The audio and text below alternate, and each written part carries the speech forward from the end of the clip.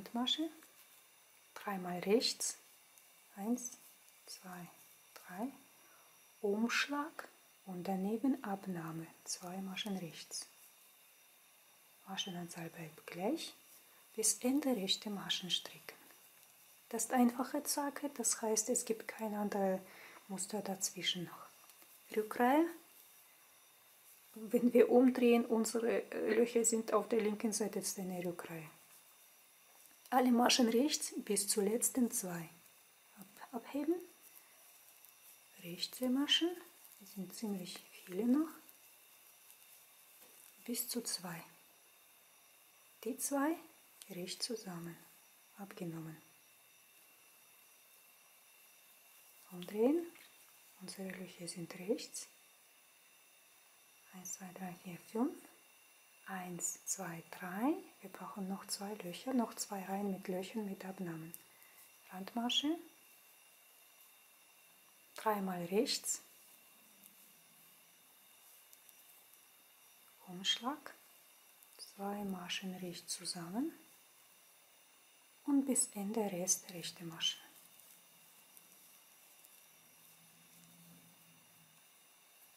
Umdrehen. Rückseite das gleiche, Rückseite rechte Maschen stricken bis zwei letzten.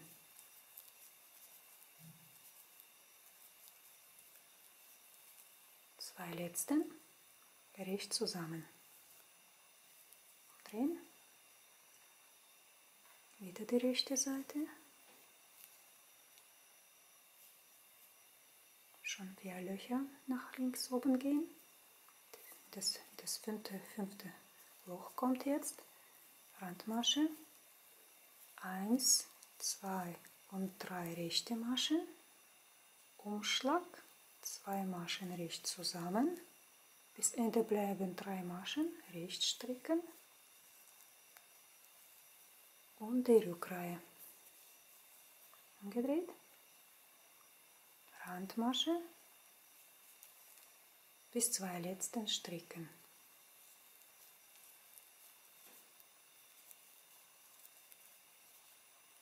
Und zusammen. Wir haben am Anfang, ganz am Anfang, sieben Maschen gehabt. Das ist nur für ganz Anfang. Danach schmalste Stelle wird aus acht Maschen. Wir haben jetzt erste Zacke fertig. So schnell ging es. Schauen wir mal. Hier müssen jetzt acht Maschen bleiben. Acht. Fertig. Noch prüfen. Wir können nach Löchern prüfen. Fünf jedes Mal fünf Löcher. 1, 2, 3, 4, 5. Und wieder von der Spitze von, der, von dem gleichen Loch zählen. 1, 2, 3, 4, 5. 5, 5. Dann die Zacke fertig. Eigentlich sind das neun Löcher. Wir zählen einfach ab, der, ab dem gleichen, das gleiche Loch zweimal dann ist es symmetrisch. Das heißt, bis zu diesem zentralen sind vier Löcher oben und vier Löcher unten. Es ist immer leicht nachzuprüfen, wo ich stehen geblieben bin. Schnell Löcher nachzählen, fertig Löcher und vielleicht hier noch Maschen. So, jetzt stricken wir weiter, noch Zacken. Jetzt möchte ich aber eine, im Prinzip könnte ich zweimal kraus rechts stricken und zwei in glatt dann können wir dann später Maschenaufnahmen auf zwei Varianten besser sehen. Die, die Zacken sind kleiner, also mache ich nochmal. Also wiederholen wir jetzt das gleiche nochmal. Jetzt kommen wieder Zunahmen. Randmasche. Wie war das mit Zunahmen? Zwei Maschen rechts und Umschlag. Zwei Maschen rechts, Umschlag und bis Ende rechts stricken. Wie waren die Rückreihen? Bei, in, den, in, den, in dem ersten Teil einfach alles recht stricken. Nicht vergessen, die Randmasche ist immer die erste zum Abheben. Die erste zum Abheben, das, wir bekommen dann Kettenrand. Und das ist genau das, was wir brauchen. Und zwar auf allen Seiten hier auch. Ja? Einfach alle rechts.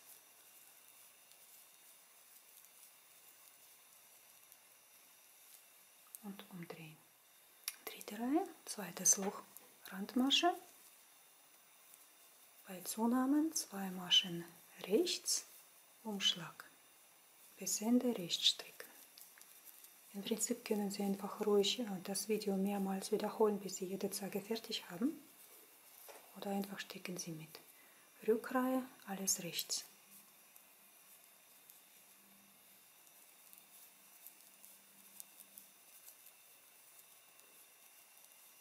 Maschenanzahl vergrößert sich, vermehrt sich.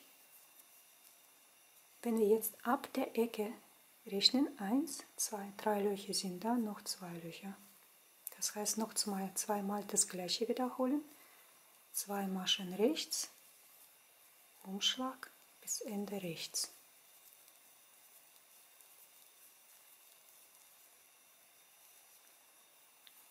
Rückreihe, einfach rechts.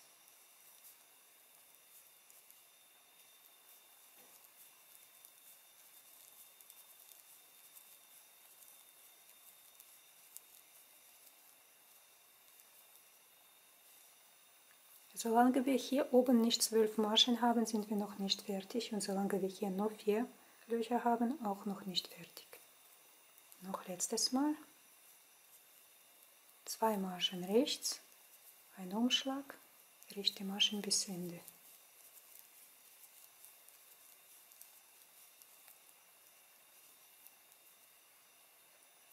Und die Rückreihe, bei der müssen wir zwölf Maschen jetzt haben am Ende stricken und zählen. Erste, zweite,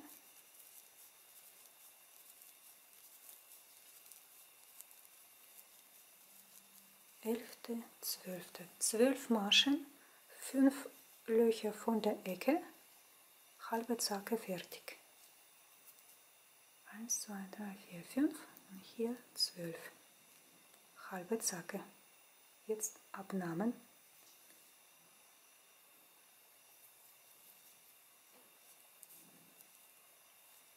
Abnahmeteil, Abnahmezacke, drei Maschen rechts, dann Umschlag und zwei zusammen. Eins, zwei, drei rechts, Umschlag, zwei rechts zusammen. Ich brauche nicht mal das Wort rechts zu sagen, weil sowieso alles rechts. Und bis Ende einfach rechts.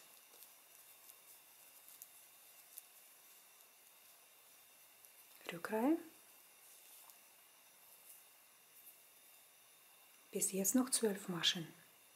Am Ende zwei zusammen. Bis dahin einfach rechts stricken. Rand, rechte Maschen,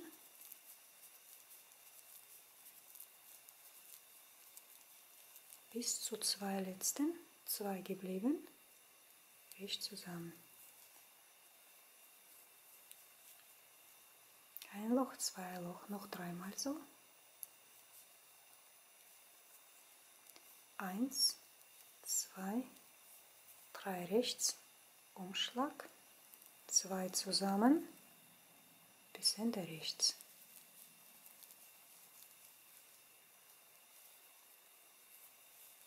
Rückreihe bis zu zwei letzten Richtemaschen.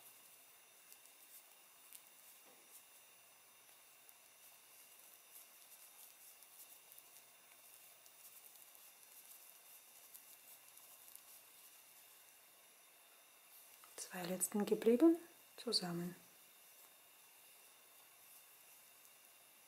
Eins, zwei, drei Löcher, noch zwei Löcher. Drei rechts. Umschlag, gleiche Abnahme daneben und bis Ende rechts. Rückreihe. Alle rechts bis zu zwei letzten.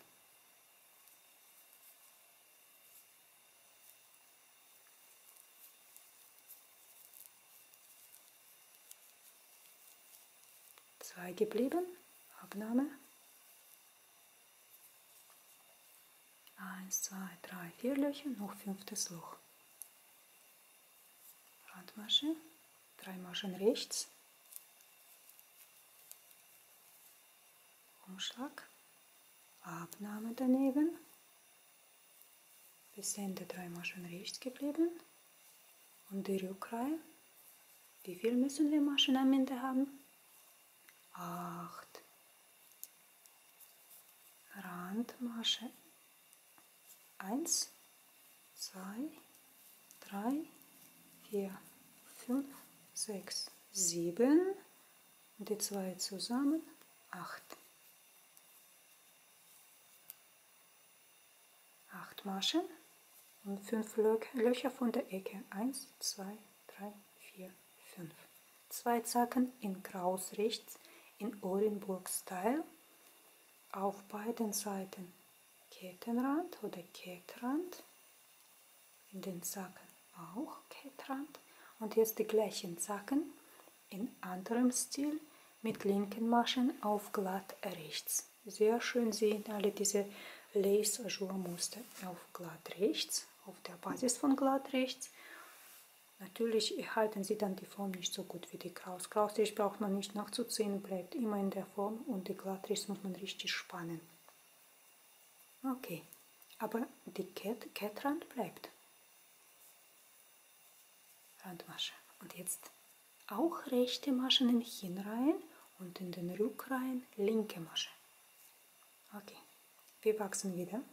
Also Zunahmen, zwei Maschen rechts, Umschlag, bis Ende rechte Maschen stricken.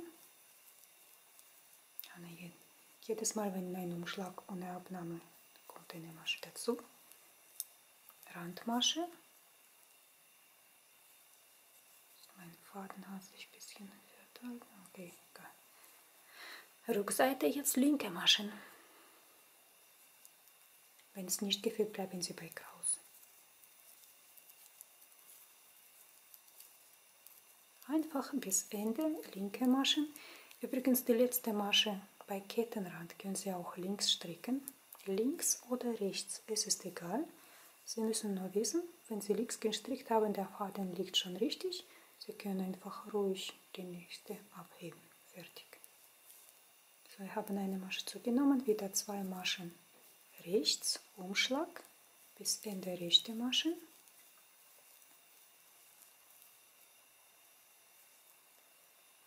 Und hier ist ein bisschen Faden. Und hier können auch rechts stricken. Ich mag es, wenn Sie schon mein anderes Video mit Kettenrand gesehen habe ich gesagt, dass ich sehr gerne am Ende für Kettenrand immer linke Maschen stricke. Das heißt, wenn ich ab und zu mal am Ende links oder rechts stricke, die letzte Randmasche, es macht nichts. Hauptsache, die erste wird abgehoben. Wenn Sie links gestrickt haben, dann müssen Sie den Faden ein bisschen hier rumlegen.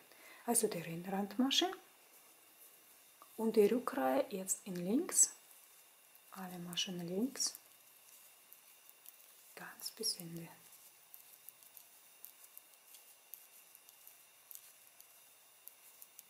Hm, meine Lieblingsrandmasche.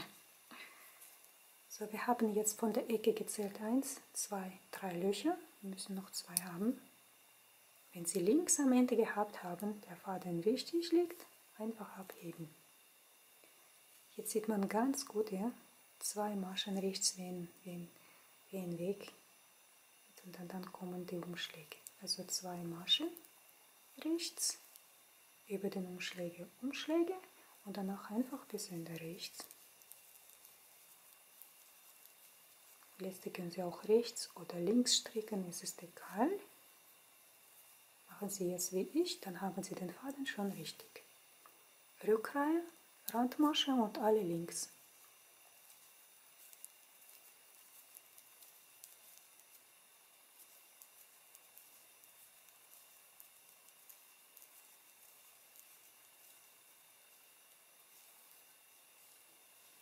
haben vier Löcher und noch elf Maschen. Wir brauchen zwölf Maschen, fünf Löcher. Noch einmal abheben, zwei Maschen rechts, Umschlag bis Ende rechts.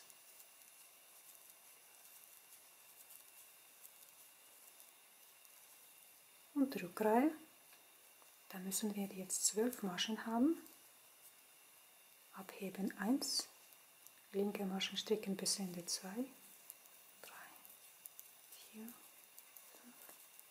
6, 7, 8, 9, 10, 11 und 12. 5 Löcher, 12 Maschen, Hälfte ist fertig.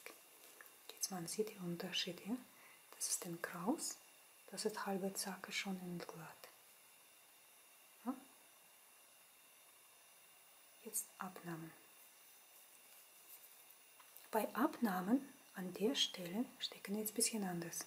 Weil wir jetzt glatt rechts haben, machen wir es anders. Also erst abheben und jetzt drei Maschen rechts.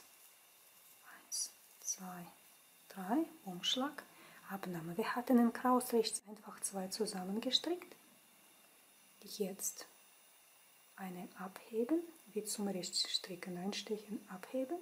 Die Masche dreht sich um, die nächste stricken und der gehobene drüber ziehen. Das ist ein Überzug.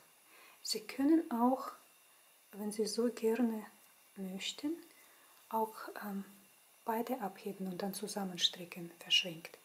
Das wird dann das gleiche. Wir heben eine, wir heben die zweite, wieder zurück auf die linke Nadel und von oben rechts verschränkt zusammenstricken. So oder so, wie Sie mögen. Das ist das gleiche weil Abnahme wird dann nach links schauen. So bis in die Rechts strecken und die Rückreihe. Erinnern Sie sich, bei Abnahmen in den Rückreihen stricken wir bis zwei letzten und die zusammen. Hier. Randmasche abheben, linke Masche bis zu zwei letzten In dem Fall werden die und natürlich auf der glatt rechts oder glatt links die Umschläge auch links gestrickt. Zwei letzten. Eigentlich kommt hier, wenn logisch, sagt man, okay, alles links, dann auch zwei links zusammen. Die Sache ist, wenn wir jetzt zwei links zusammenstricken, ich zeige jetzt so, wie Sie nicht machen müssen, wenn ich einfach auch links zusammenstricke und umdrehe, dann ist es hier hier Abnahmestelle schaut nach rechts. Wir haben aber Abnahme nach links. Das, das ist einfach falsch. Also machen wir es zurück. Wenn Sie mit linken Maschen auch am Ende stricken möchten, dann müssen Sie die zwei zusammen verschränkt stricken. Es ist aber ein bisschen gequälter, wenn am Ende, wenn so flüssig gestrickt wird, verschränkt zusammen. Es dauert einfach länger. Es schaut schon nach links, richtig, aber es bremst mich persönlich. Das, ich finde es einfach, diese Variante von verschränkten Maschen zusammen verstricken, das nimmt einfach Sekunden von der Arbeit und auf Dauer, wenn Sie viel stricken, ist einfach zu langsam. Also hier sind jetzt, die sind jetzt verkreuzt, ja. Ich mache es alles zurück und trotz, dass wir hier links gestrickt haben, stricken Sie einfach zwei zusammen rechts. Fertig, einfach. So, die erste Masche richtig abheben und unser Kettenrand und Abnahmen schauen nach links. So, wir haben eins, zwei, sind dreimal noch. Eins, zwei, dreimal rechts, Umschlag, Abnahme. Ich mache meistens Überzug. So geht ja auch so oder so. Sehen Sie, erste haben wir aus der ersten Abnahmereihe jede einzelne abgehoben und rechts verschränkt zusammengestrickt gestrickt oder einfach Überzug. Ich finde, das geht einfach schneller. Bis Ende rechts stricken. Randmasche können Sie auch links. Randmasche abheben. Links bis zwei letzten.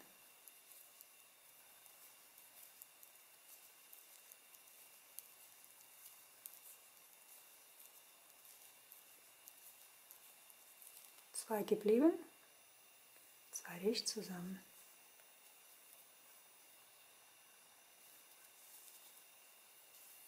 Eins, zwei, drei Löcher.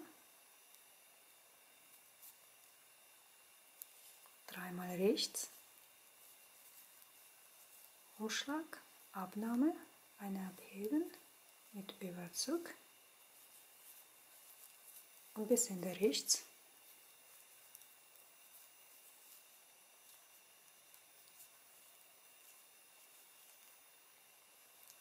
bis zwei letzten links.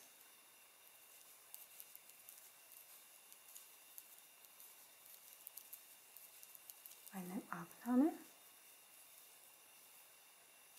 Was haben wir? 2, 3, 4, 4 Löcher, nochmal fünftes Mal. Und am Ende müssen acht Maschen bleiben. Erst abheben, drei Maschen rechts bis zu den Umschlägen. Über den Umschlag, Umschlag, dann Abnahme, zwei zusammen, auf hier Weise und Rest bis Ende stricken.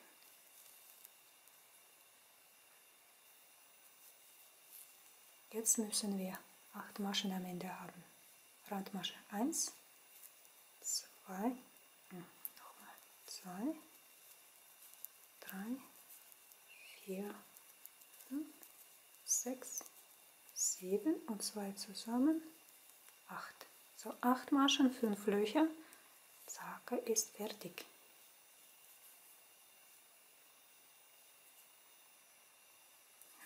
Ein bisschen sortieren, eigene Hände. Seht ihr, wenn ich hier nicht wenn es glatt rechts ist, dann rollt es sich noch zusammen. Das braucht natürlich Waschen und Spannen. Und bei Kraus rechts liegt es schon auch richtig. So ein bisschen. Und wenn man gespannt wird, dann sieht man richtig auseinander, richtige, dass das Muster und Blöcher richtig zu Scheinen kommen, so richtig alles ziehen. Noch ein noch einmal, noch einmal in glatt und dann für diese Seite ist fertig. So, wir haben jetzt vier kleine Zähnchen oder Zacken gestrickt. Sehen Sie? Das liegt einfach schön flach und die rollen sich, solange sie nicht aufgezogen sind. Aber am Ende mit feinem Garn sieht es auch sehr schön aus, wenn er auf glatt gestrickt weiter. Ich habe Ihnen am Anfang gezeigt, dass wir das stricken. Hier habe ich drei Zacken, hier habe ich vier. Ist egal. Jetzt müssen wir alles umdrehen und einfach Schall so weit, wie Sie wollen, stricken.